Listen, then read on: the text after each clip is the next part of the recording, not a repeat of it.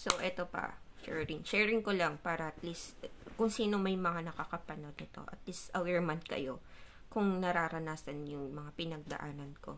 So, having a narcissist partner, um, yung pagkakaroon ng NPD, sobrang hirap, lalo na, um, dumating na kayo dun sa point na yung word na gaslighting, alam niyo yung word na gaslighting is sobrang manipulation, abuse, parang kung hindi ka aware o sa na, sa sa ganito, talagang mentally ma-abuse ka kasi kukwestiyonin mo yung sarili mo, magkakaroon ka ng self-doubt, kasi parang manliliit ka sa sarili mo eh. Yung bawat sabihin mo sa kanya, hindi niya binavalidate. Tapos, isisit, isisisi niya sa'yo yung mga katoksika na nangyayari sa sitwasyon nyo.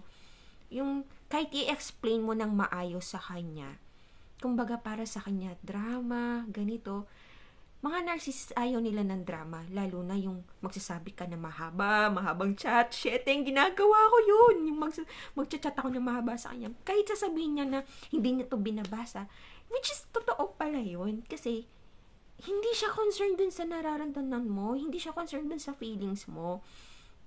Kumbaga, wala siyang benefit dun. And the same time, um, hindi niya, hin- makikipagtalo lang siya, ipaparealize niya sa iyo na ikaw yung mali.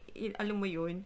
And the same time, uh, mahirap, sobrang hirap talaga yung nandun ka sa sitwasyon na yun. Kasi, as in, kukwestionin mo yung self-worth mo talaga. In the same time, alam mo yung uh, hanggang dun sa sasabihin niya sa iyo. Kahit kaya kita ganito tratuhin kasi sa ginagawa mo.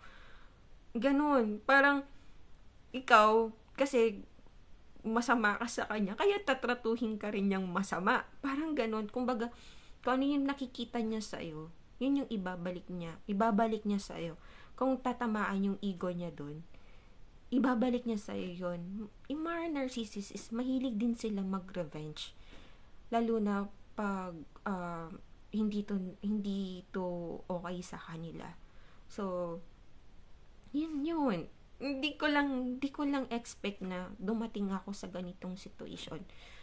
Pero honestly, thankful naman ako. Siguro thankful ako kay God kasi binigyan niya akong ganito ka-open mind na na hindi ako nag, ganin, ganun naging weak. Uh, mahirap, mahirap yung naging sitwasyon ko. Pero kahit pa paano. Basta, kukwento ko sa inyo para aware kayo, para maiwasan nyo rin. And, ayun.